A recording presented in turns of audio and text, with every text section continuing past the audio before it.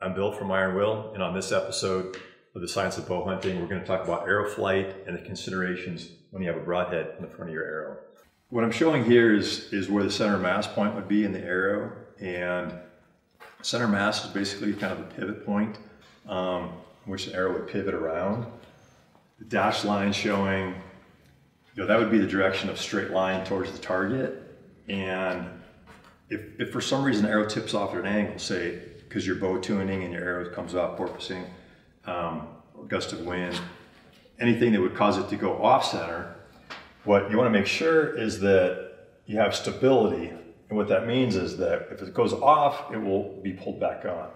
And the force is happening there is on the front of the arrow, if, if the air is coming by this way, what it's going to do is going to create pressure across, across the surface area of the broadhead. And this is more of a consideration with a broadhead blade and a fixed blade versus a field point. Um, there's going to be a force here that's going to want to continue pushing it off, off track. What you want to have is on this end of the arrow, that the vanes, as the air flows across it this way, um, there's a pressure across the vanes that will bring it back. And so what you want to have is a stable arrow. So you want to have more restoring force than the force that would want to drive it off. And the couple things you could do to get that, and one is having enough vane in back. Um, if the vanes are too small, there won't be enough pressure across here, won't be enough force pushing it back up on and making it stable. So that's sometimes a problem. If you've got a fixed blade broadhead, say, and very small target vanes, it often won't fly very well. Um, another thing, so really have more vane, have taller vanes, and Another thing you can do is have a higher FOC. If you, as you have a higher FOC, bringing that center of mass forward, um, that will give you a longer lever arm to your vanes, and it will give you more restoring force as well to make the arrow come back on and be stable. So stability is one. Uh, FOC, as I mentioned, having more mass forward will help you in stability and also keep it more on track. And then finally, uh, rotation. So the benefit of having rotation is that if there's any asymmetries in the arrow, the rotation will average them out.